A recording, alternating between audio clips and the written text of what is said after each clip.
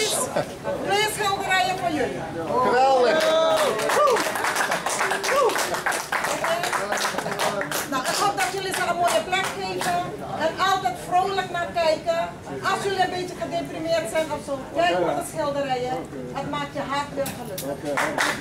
Geweldig!